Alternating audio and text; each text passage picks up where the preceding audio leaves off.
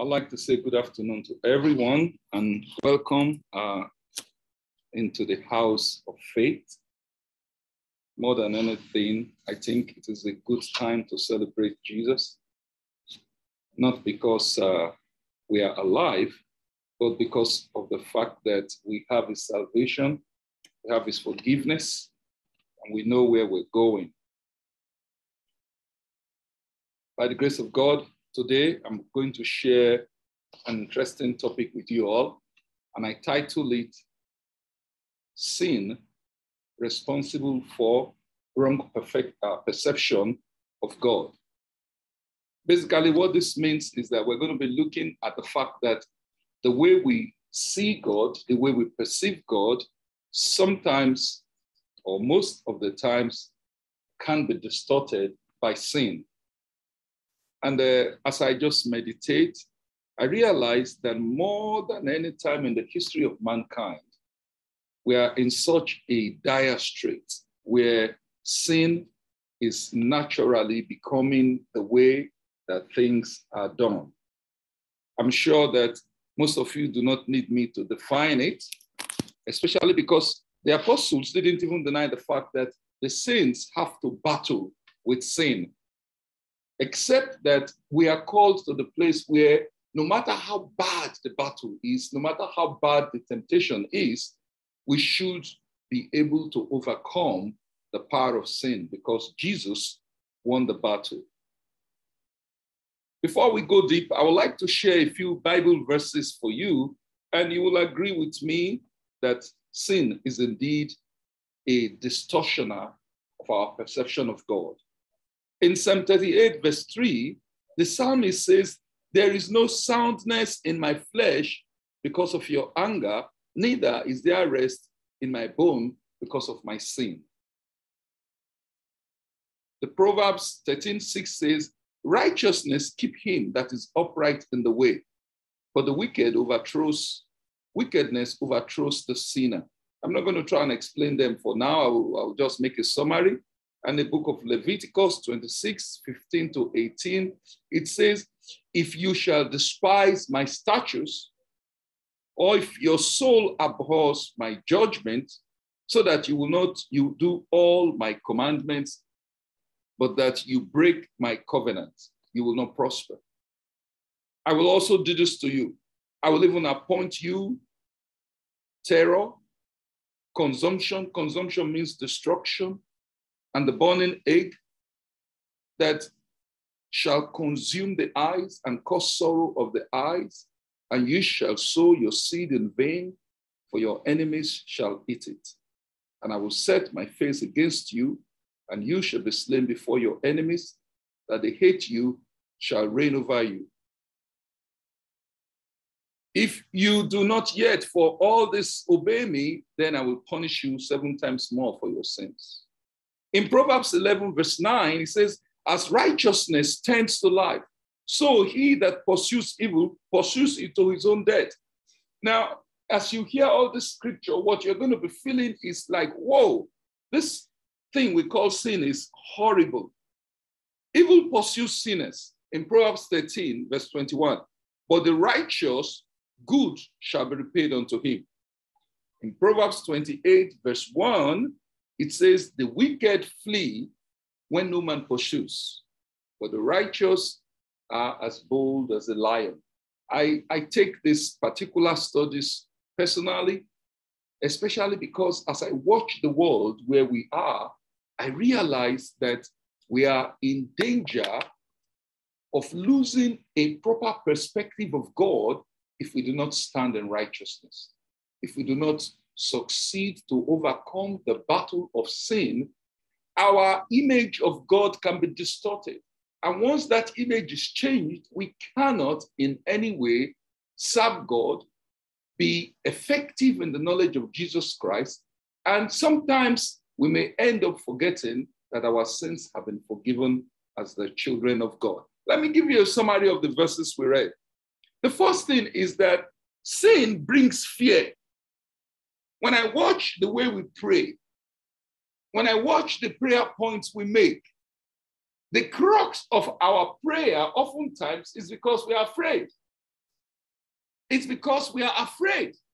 And the reason that is happening is that our conscience is telling us that something is out there that is about to pay us for the choices that we have made. Number two, sin brings humiliation. I have seen how sin can destroy God's blessing and bring people down. Unfortunately, sin is very attractive, it is very tasty. But the end of it all often leads to humiliation and sourness in our mouths. Sin brings guilt alive. Even when somebody has forgiven you, even when somebody has forgotten what you did, but sin will always remind you you see that man, you stole his money. You see that man, you hurt his wife, you hurt his daughter. Sin always brings that memory alive. Sin brings bondage.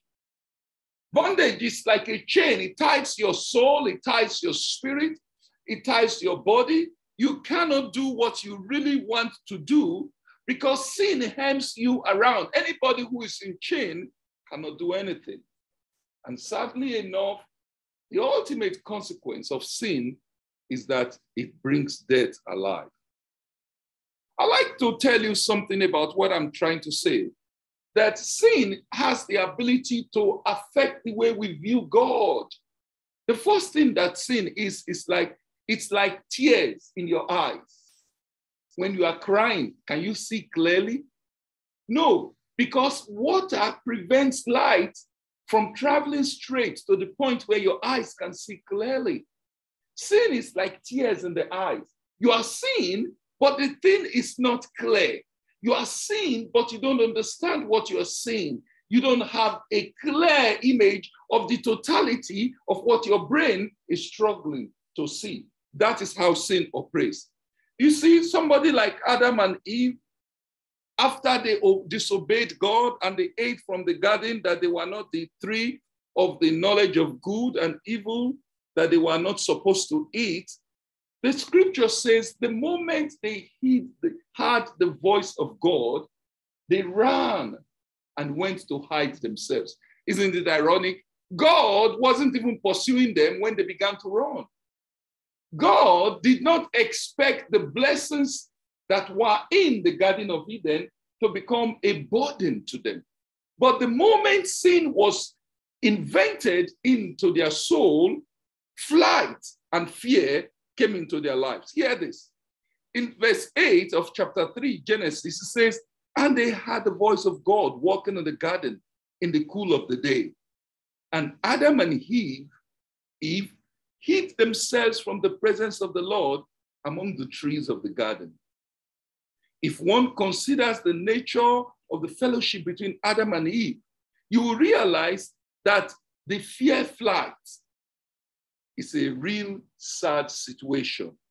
Of course, if you probe deep, we'll find out why the choice of action is fear flight. As the descendants of Adam, that is you and I, when we sin, our first reaction is to run from God. But look at the foolishness. Can somebody really run from God? Can we really run from the one whose spirit is everywhere that sees everything? Can we hide from the Almighty, the all powerful God, the one who is able to become a man and shed his blood for us and broke the power of death? Can we really run from him? Can we really run from the person who destroyed the power of death and rose again? We cannot. But this is what happens sin absolutely convinces you you can hide. Sin convinces you you can run. Whereas the question is, where will you run to? We lose the courage we have for fellowship with God and the fellowship with saints when sin is installed in us. You cannot be in relationship with people. You are afraid they will see the sin you have made.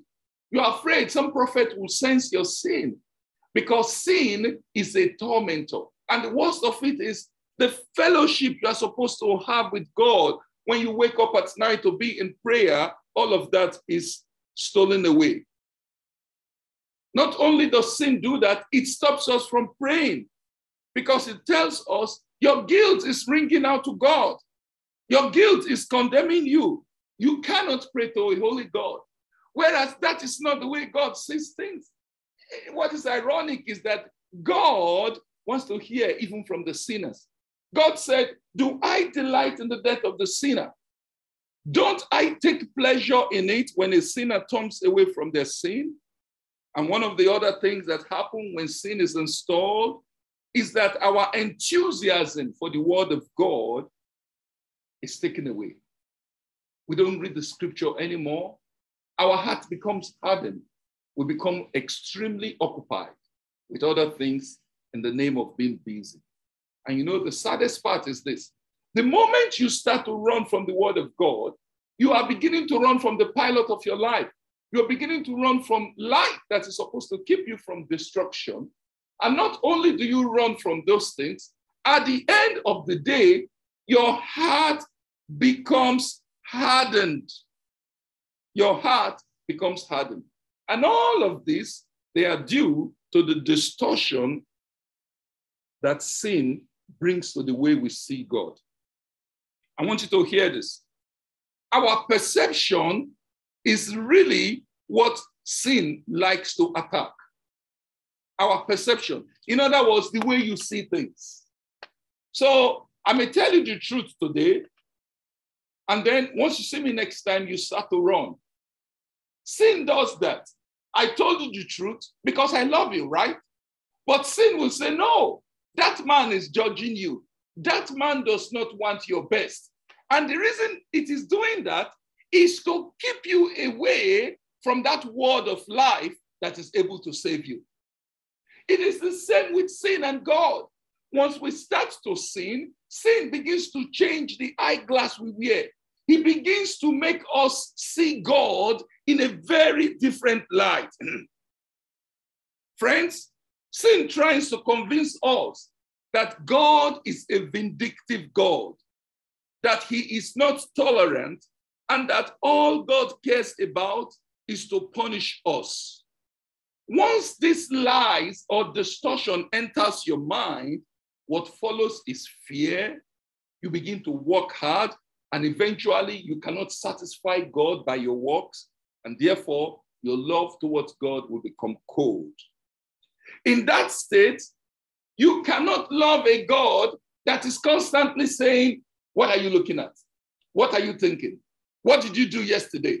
I saw you yesterday morning. Nobody wants to have such a God. But I want you to hear this.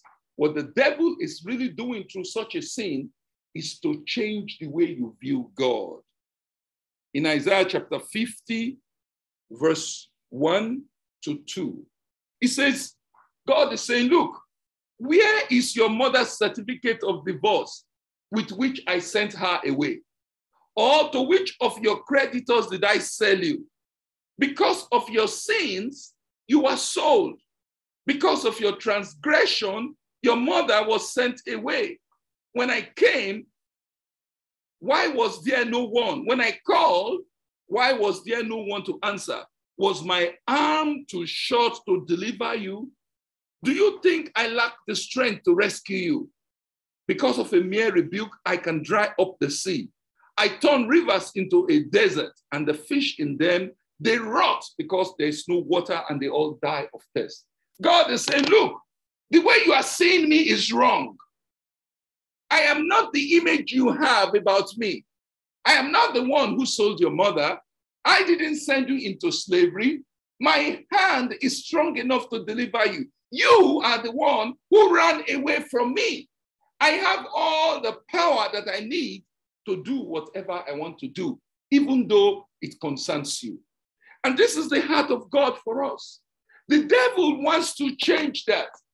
The devil and, the, and the, the essence of sin wants us to believe that it is God that is making the enemy succeed against you that it is God that is making you that you cannot have a baby, that it is God that is making it that you are suffering in poverty.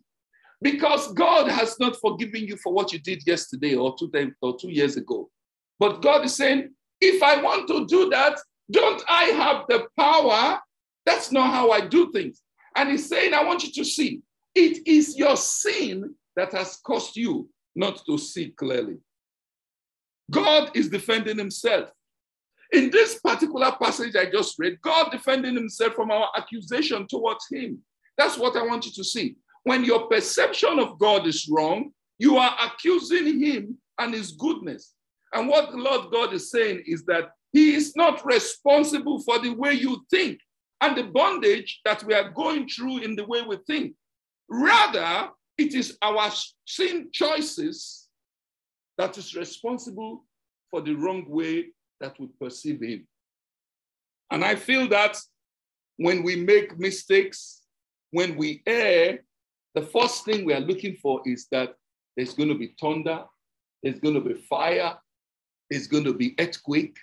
We are always looking, is somebody going to curse us? Is somebody going to do this thing to us? But God is not responsible for that. Our sin is what is responsible for the way that people see such things.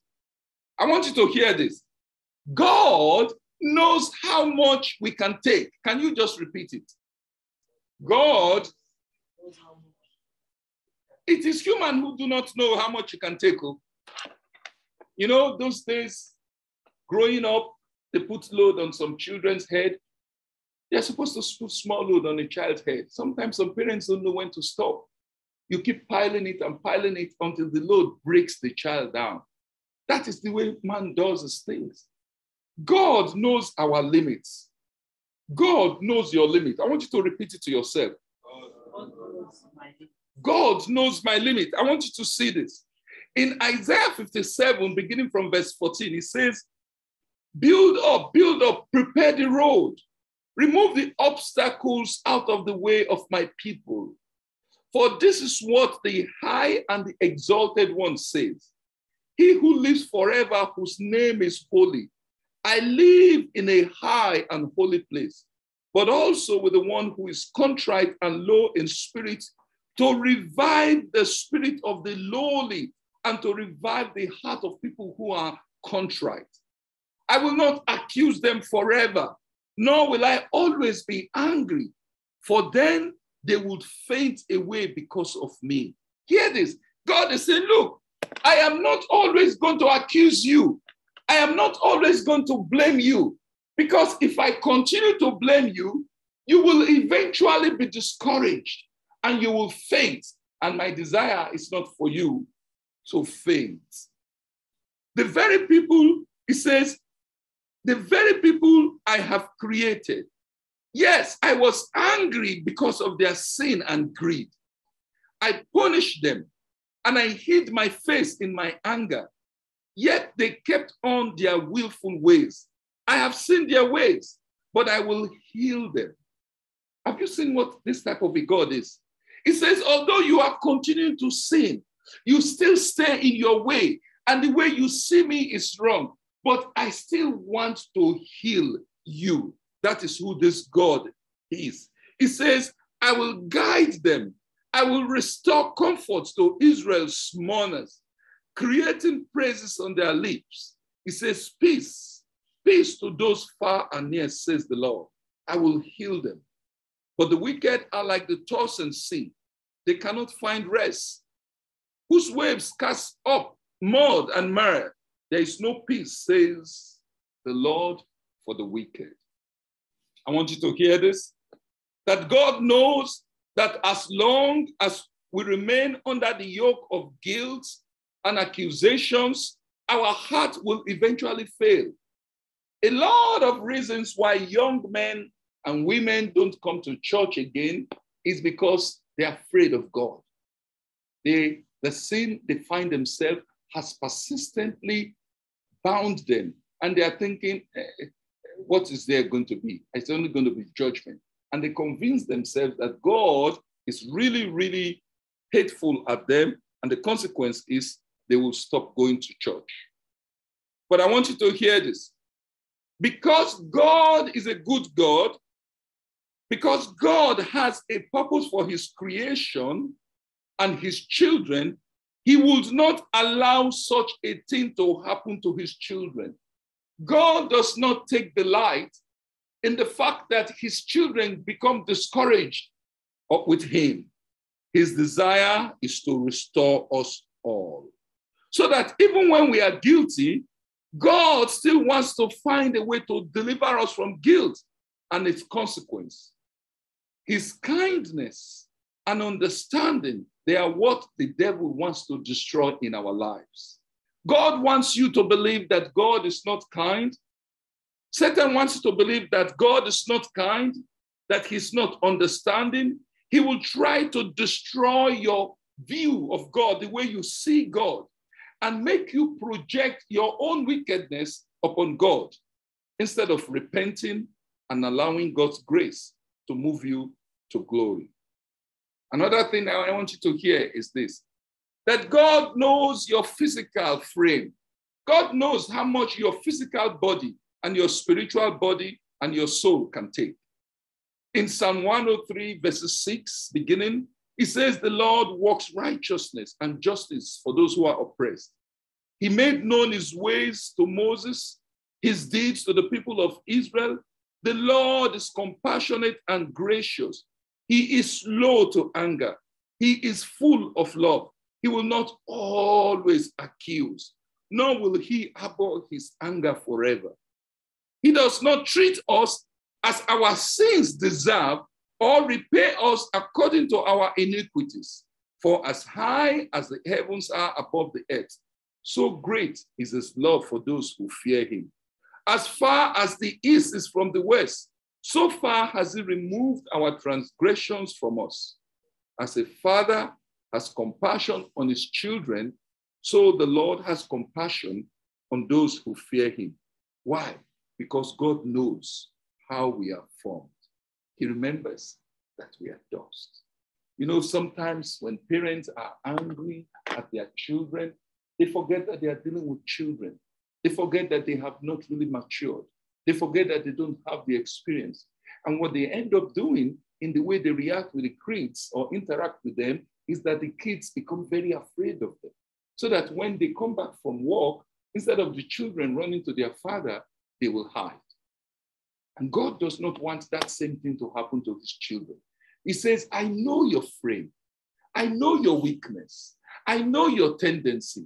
I know the temptations that confront you. I will not always be angry at you. I want you to hear this. The Lord who started a good work in us has every intention to fulfill it. He's not like the politicians who start a project just before elections so that they can get our votes and afterwards abandon it. God is not like that. God doesn't want to give you taste so you feel good so that you can worship Him, then He will abandon you. God saved us for a purpose. He desires for us to enjoy eternity with Him.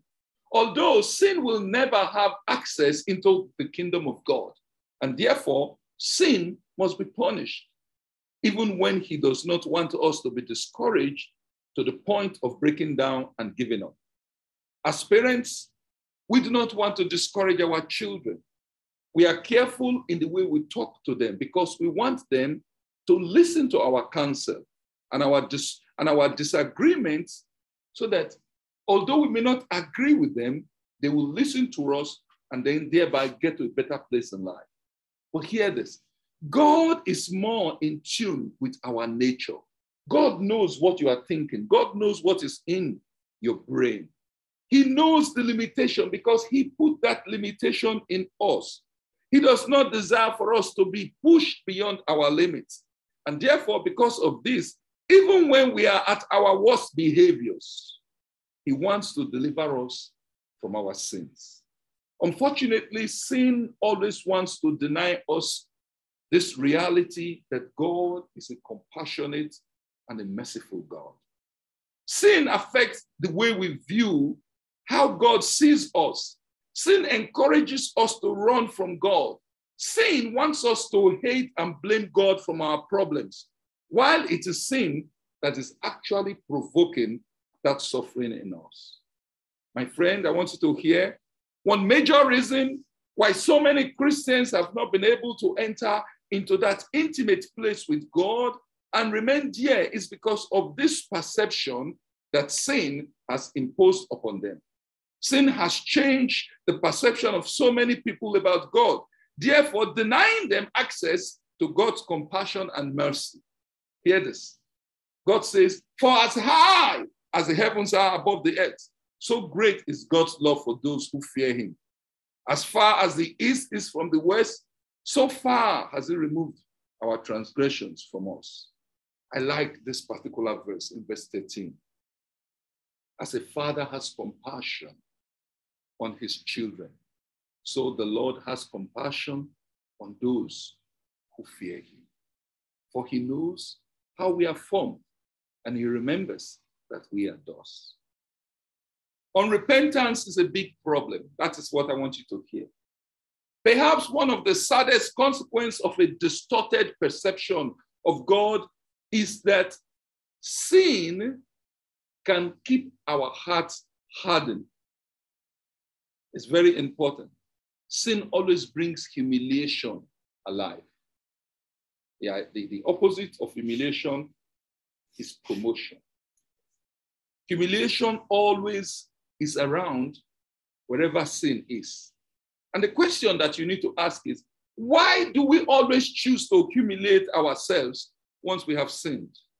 Why don't we look for some noble way to cover ourselves? Look at Adam and Eve. The moment they sinned, what did they do?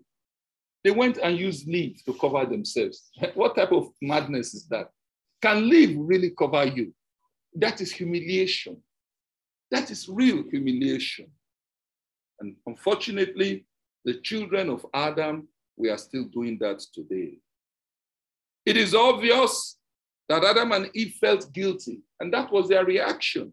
The sad part of all of this is that sin convinces us that because we are falling, we are incapable of standing up, and the best thing is to just submit to sin. You remember in the in the school days, in college, in grammar school, in the university, sin always tells you, eh, you have already committed sin now, and you know there's judgment. You must, if you must suffer, just do it well. Sin does that. You have already sinned, just do it. You know that if they punish you, you know what they are punishing you for. But what sin forgets to tell you is that God's punishment is not like the punishment of man. Sin forgets to tell you that once you fall away from God, it is an eternal separation. It is like putting your hand inside a fire and you cannot take it out forever. It is like your soul being cut out of light. You know there's something out there good for you, but you cannot get to it because that is what sin is hiding from us. That is what sin, humiliation, does. I want you to hear this. That is not the best way to think as children of God. The truth is that this is a demonic deceit and delusion. What is happening at this point in a man's life is that we are being conditioned to all sorts of decadence and hopelessness. At this stage, our mind is being completely robbed of life, which may eventually lead to a hardening of heart. A stone is hard. Stone doesn't feel anything. The moment the heart of a man becomes like a stone, you cannot feel anything. You will do the wrong thing. Your mind will convince you anyway, they're going to punish you. Anyway, you are in hell. Anyway, you're going to die. But he forgets to tell you that even death is not the end of life. That is what sin does.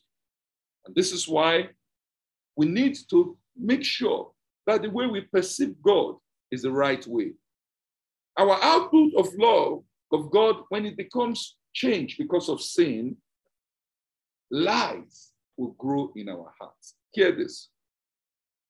He says in John chapter 8, verse 40, beginning, But now you seek to kill me, a man that has told you the truth, which I have heard from God. This did not Abraham. Ye do the deeds of your father, then said to him, are we not born? We are not born of fornication. We have one Father, even God. And Jesus said to them, If God were your Father, you would love me. For I came forth from the Father, neither came I of myself, but he sent me. Why do you not understand my speech? Even because you cannot hear my word. Hear this. You are of your father, the devil, and the lust of your father, that is what you will do. He was a murderer from the beginning, and he did not stay in the truth because there is no truth in him. When he speaks a lie, he speaks his own, for he is a liar and the father of lies. Friends, at this point of sinning in our minds, have already begun to process a process of falling into bondage. Our mind, our body, our rationale begin to adapt to this new essence gradually. And the ultimate part of it is it leads to death.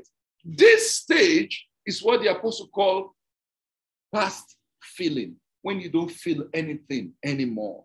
When it is easy for somebody because you want to make money to do human sacrifice, to hurt other people, to poison them, to take other people's wives, uh, to steal from where you shouldn't steal.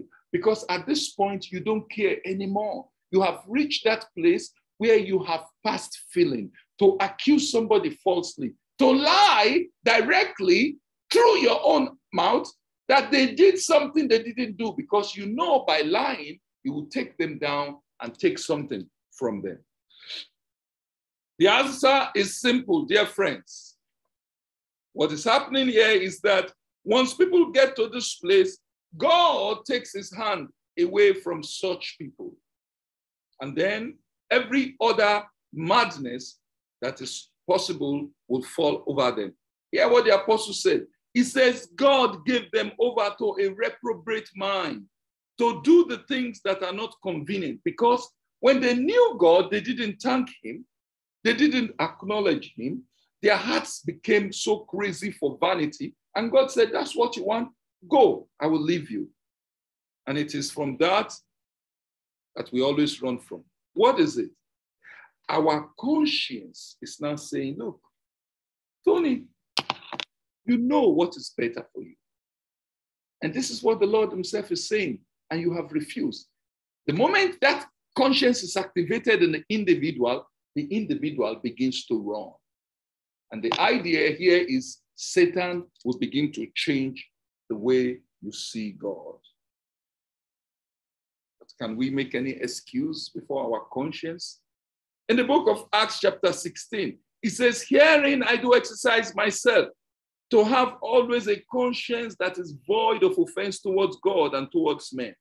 In Romans 2:15, it says, which show the work of the law written in their heart. Their conscience is always bearing witness, and their thoughts the mean while accusing or else excusing one another. There is no escape because our conscience is constantly talking to us. First Corinthians chapter 10, verse 25 puts it like this. Whoever is sold in the shambles, whatever is sold in the shambles, eat. Ask no questions for the sake of your conscience. The idea here is that you cannot run from your conscience. My dear friend, somebody will say, Whoa, Pastor Tony, you're so right about how our perception changes. What do we do? It's very simple. How do we do to change the way we view God? Because if you don't view God the right way, you will never come into his presence for blessing. And that's why a lot of people have not come to him because they don't understand that he's a kind, he's a loving, he's a benevolent God, he's a savior who delights in the repentance of the sinners. The first thing that a person must do is to turn to God. That's the place to start. What does this mean to turn to God? If you have heard this sermon today and you have not been saved, you have never said yes to Jesus, that's the place we're going. You must say that yes. You must say, Jesus, I say yes to your sacrifice. That's the place to start because by your own strength, you cannot do anything. You have to say yes to that sacrifice. And by that sacrifice, you are translated from darkness into God's eternal light. The scales that have been on your face or your eyes will then fall off, and you begin to see God for who He is. And so, the first thing we're going to do is that if there's any man here who has not succeeded to say yes to God, any woman, today will be the right opportunity to say yes to God. Number two, repentance is the next thing once you have said yes to Jesus. Hear this. In Zechariah chapter 1, verse 2b, it says, Turn unto me, says the Lord of hosts, and I will turn unto you, says the Lord of hosts. Turn unto God. Any of us whose perception of God has changed in any way, especially those who have already said yes to God, and sin has begun to change the way you view God. The first thing is to go back to God. It's not turning your back to Him. He says, Turn unto me. God says, Look at me, and I will look at you. God is literally saying, Come to me, and I will come to you. No matter what the sin may be, turn to me. That's what God is saying. And if you turn to me, I will take your goggle away and give you a clear mind and clear eyes, and you can see me and know me for who I truly am. Turn to God. That's the first thing. Turning to God. In Second Chronicles chapter 30, verses 9b. Hear what God says. I have blotted out as a thick cloud your transgressions, and as a cloud your sin. Return to me, for I have redeemed thee. My dear friends, you have heard one of the things that sin does. It changes the way we view God. It causes us to run from God. It causes us to be afraid of God's blessings. It takes us away from the place where we can have help because we are afraid of Him. We are feeling guilty. But God is simply saying this Turn to me because I have wiped away your sin that might have been as thick as cloud. Just come to me because I am the one who is able to wipe away your transgression. And God is saying, Look, I, I have redeemed you. And we need to see this. What does it mean to return to God? The first thing that it means to return to God really starts with your renewal of your mind. That is, the, in other words, the way you think needs to change. It starts with remembering the word of God. It starts with going back to the word of God. It starts with beginning to eat the word of God again and meditating on it and not having alternative things anymore in your life. It starts with appreciating that the word of God is light, it is your lamp that guides you again. It starts with creating a new passion for the word of God. A lot of saints, this is the problem. The moment sin changes your perspective, the first thing you stop to do is you stop to read the word of God because you're afraid the word will convict you. And once you stop to read the word of God, you stop to pray your prayer life goes down. And the more prayer life goes down, that heat, that fire that is refining, that is changing, that renews somebody, that comes from intimacy with God, that heat is gone. And once that heat is gone, you have quenched the spirit. The Apostle Paul is encouraging us today. He says, Therefore, in Romans chapter 12, I urge you, brothers and sisters, in view of God's mercy, offer your bodies as a living sacrifice, holy and pleasing to God. He says, This is your true and proper worship. Do not conform to the pattern of the world, but be transformed by the renewing of your mind. Then you will be able to test and approve what God's will is the one that is good, pleasing, and perfect for you. John says, if we sin, we have an advocate. Somebody who stands in the gap between us and God says, if we do that, we have. He says, if any man comes to me, I will in no way cast away. And as I'm talking about this, I am speaking to every one of us that there's need to check our perspective. When there's tears in the eyes, you don't see clearly. When there's tears on your glasses, Your vision is blurred. You may think you're seeing something, but you may be seeing something that is totally different. I would like to bring the sermon to the end today by first of all asking, is there anybody among us? And this is a serious, serious question that has not said yes to Jesus. Like you have never said that prayer Jesus, I accept your sacrifice because I am a child of Adam. I have fallen into sin.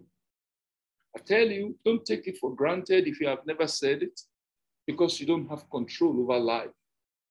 Tomorrow is not in your hand. The devil has the ability. Sin convinces people. You still have time. Wait till your child is sick, till your children are sick, till your wife is sick, and then you can go to that pastor to pray for you. But it may be very late then. And if there's anybody among us that has not said yes to Jesus, all you need to do is to say yes. I'm not saying stop committing sin because you can't. No man can stop committing sin by their own strength, except through the saving grace of our Lord Jesus Christ. All you need to do is say, Yes, I accept your sacrifice. If there's anybody here, please don't waste time. Just show with your hand. Is there anybody who wants to say yes to the sacrifice of Jesus? Anybody? Great. Thank God. It means everybody's. The second question is if there's anybody who really wants their perspective about God to change, I want you to show your hand. You want the way you view God to change. Praise God. Hallelujah. God bless those hands. God bless those hands. I'll pray for you. Father of light, I plead the blood of Jesus today because you are our freedom, you are our deliverer, you are the source of our refuge. As many today who have responded to your word, who wants the perspective of you to change, I ask you to serve their eyes in the name of Jesus. I ask you to touch them with the blood of the Lamb. Father, change our perspective. Let us see you as the good God that you are. Father, bring us back from the bondage of fear and guilt and help us, Lord, to accept you as our good Father. Father, I pray for the ones in their mind who have said to Jesus, Lord, let that truth come into reality, Lord. Lord, I bless your name. We give you all the glory and the honor in your precious and holy name we have prayed. Amen. Amen. Shall we share the grace together? The grace of our Lord Jesus Christ, the love of God, and the sweet fellowship of the Holy Spirit rest and abide with us now and forevermore. Amen. Surely goodness and mercy shall follow us all the days of our lives, and we shall dwell in the house of the Lord forever and ever. Amen. May the Lord